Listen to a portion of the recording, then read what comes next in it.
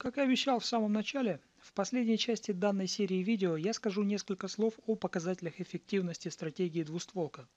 Если говорить о показателях эффективности торговых стратегий вообще, то, как правило, при оценке той или иной стратегии большинство трейдеров оперируют следующими параметрами. Что касается стратегии двустволка, то здесь необходимо отметить, что впервые тестирование данной стратегии на исторических данных было произведено в 2003 году – Предлагаю вашему вниманию результаты тестирования за период с декабря 2002 по июнь 2003 года. Вот как выглядит кривая капитала для стратегии двустволка при использовании консервативного метода управления капиталом. Исходные условия тестирования следующие. Начальный капитал 1000 долларов. Инвестиционные инструменты это три валютных пары – евро-доллар, доллар-японская иена и британский фунт-доллар. По итогам тестирования максимальная доходность операций составила 142%. Максимальная просадка счета за период тестирования составила 9%.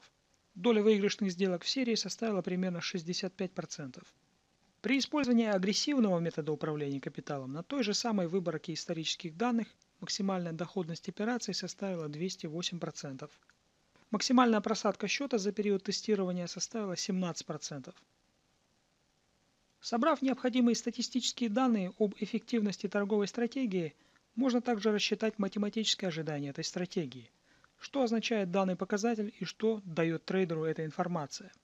В своей книге «Трейдинг. Ваш путь к финансовой свободе» Ван Тарп, известный рыночный гуру и автор множества книг по трейдингу, говорит, что любой подход, использующийся на финансовых рынках для извлечения прибыли, должен иметь положительное математическое ожидание. Говоря простым языком – Математическое ожидание – это количество денег, которое вы ожидаете заработать в долгосрочной перспективе на каждый доллар, которым вы рискуете в сделке. Вот как следует производить расчет математического ожидания стратегии. Прежде всего, необходимо подготовить результаты серии из, по крайней мере, 30, а предпочтительно из более 100 сделок, которые были генерированы вашей стратегией в процессе трейдинга на реальном или демо-счете, а затем воспользоваться следующей формулой – если с учетом проскальзывания и комиссии математическое ожидание стратегии окажется отрицательным, то в долгосрочной перспективе вы потеряете деньги. И поэтому использовать такую стратегию не стоит. Чем больше положительное математическое ожидание стратегии, тем больше ожидаемая прибыль в долгосрочной перспективе на каждый доллар, которым вы рискуете в сделке, и тем более прибыльной должна быть ваша стратегия. Давайте еще раз обратимся к игре в рулетку для того, чтобы как следует прояснить этот момент – к примеру, мы ставим 1 доллар на отдельное число. В случае срабатывания ставки наш выигрыш составит 35 долларов. Вероятность наступления такого события равна 1,37 или 2,7%. Во всех остальных случаях с вероятностью 36,37 или 97,3% мы проиграем 1 доллар.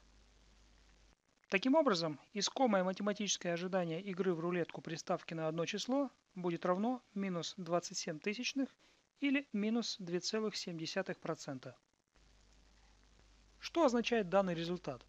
Он говорит нам о том, что если мы изложенным выше способом сыграем достаточно большое число игр, то наш общий теоретический доход составит приблизительно минус 2,7% от всех вложенных в игру денег – Знак минус в полученном результате означает, что данная игра на длительном промежутке времени будет теоретически являться для нас убыточной и дает математически обоснованный ответ на вопрос, почему казино имеет преимущество перед игроком, а также позволяет узнать точное процентное значение данного преимущества. Теперь вернемся к стратегии двустволка. Например, если торговать по правилам торговой стратегии двустволка, применяя консервативный метод управления капиталом, то есть не меняя размер торгового лота то математическое ожидание составит 0,127 тысячных. Что означает эта величина? Это значит, что при открытии сделки по сигналу торговой стратегии двустволка трейдер в среднем будет зарабатывать 13% на вложенный капитал или около 13 центов на каждый вложенный доллар. Если говорить о показателях производительности торговых стратегий, то еще одной немаловажной величиной, которую необходимо вычислить, является стандартное отклонение полученных торговых результатов, или, говоря другими словами, степень стабильности результатов. Чем больше стандартное отклонение, тем более волатильными и менее стабильными будут торговые результаты в будущем. И наоборот, чем меньше стандартное отклонение, тем менее волатильными и более стабильными будут результаты. При прочих равных следует выбирать стратегию с минимальным стандартным отклонением в терминах индивидуальных торговых результатов. Здесь я не буду приводить математические формулы для расчета стандартного отклонения, поскольку это займет достаточно много времени и не является целью данной видеопрезентации.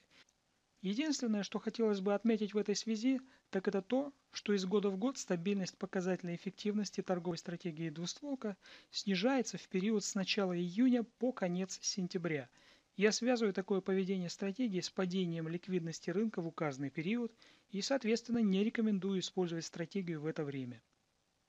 Довольно часто у трейдеров возникает желание улучшить, усовершенствовать, повысить надежность и производительность стратегии, которую они используют. К сожалению, здесь приходится констатировать, что идеальной стратегии, подходящей для всех трейдеров, попросту не существует. Конечно, улучшать стратегию можно до бесконечности, однако не стоит забывать, что любое изменение стратегии неизбежно влечет за собой уменьшение возможностей для ее применения на рынке. Тем не менее, рискну предложить два варианта для тех, кто хочет поэкспериментировать в этом направлении.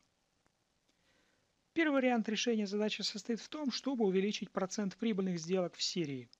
Сделать это можно, если увеличить вероятность положительного исхода сделки – но как увеличить вероятность положительного исхода сделки?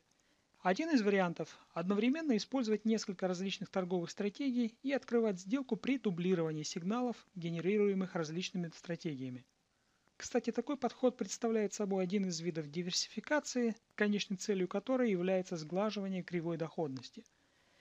Таким образом, возможно, что в рамках одного единственного таймфрейма, как в нашем случае со стратегией двустволка, Шансы на положительный исход сделки будут несколько меньше, однако при наличии подтверждения со стороны более крупных или старших таймфреймов, используемых в долгосрочной и среднесрочной стратегиях, шансы положительного исхода сделки значительно возрастают. Именно для этих целей рекомендуется использовать технический паспорт или профиль финансового инструмента и карту баланса сил, которые являются авторскими разработками и преследуют цель повысить вероятность положительного исхода сделки. Что такое технический паспорт финансового инструмента и как читать карту баланса сил? Некоторую информацию по этому вопросу вы сможете найти на моем официальном сайте gmtpartner.ru, ну а в рамках данного видеокурса дам лишь некоторые пояснения.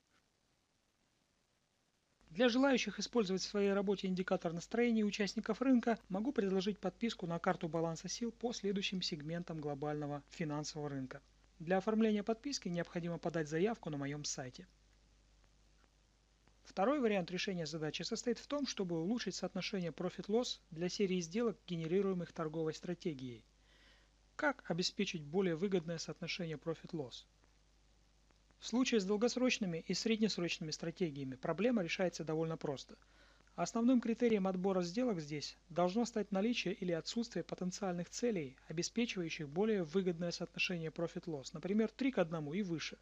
С другой стороны, Рынок может пойти к обозначенной цели, может задержаться перед началом движения на несколько часов или дней, а то и вовсе не сделать этого. Совсем другое дело в случае с краткосрочной стратегией двустволка.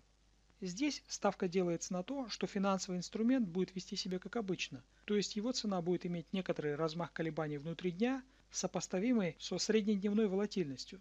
Причем амплитуда ценовых колебаний не обязательно должна быть равна одной среднедневной волатильности – для извлечения прибыли по правилам стратегии достаточно и двух третей, и даже половины от этой величины. Согласитесь, вероятность наступления такого события очень высока. Улучшение стратегии за счет более выгодного соотношения Profit-Loss предлагает полная версия торговой стратегии двустволка, где в рамках портфеля, состоящего из трех торговых стратегий, с помощью грамотного управления капиталом, а также алгоритма хеджирования открытой позиции, можно добиться соотношения Profit-Loss близкого или равного 1 к 1. В завершении данного видеокурса необходимо упомянуть один важный момент. Если вы решите торговать по правилам стратегии двустволка, то мой вам совет. Прежде чем начинать торговлю на реальном счете, попробуйте поторговать некоторое время на учебном. Выберите три финансовых инструмента и проведите на них хотя бы 30 сделок в течение одного месяца. Убедитесь в том, что вы правильно понимаете и с легкостью выполняете все правила стратегии. После этого вы поймете, подходит ли вам такая торговая стратегия или нет. На этом позвольте завершить серию видео о торговой стратегии двустволка. Надеюсь, для вас это было интересно и познавательно. А также благодарю вас за внимание и желаю успехов.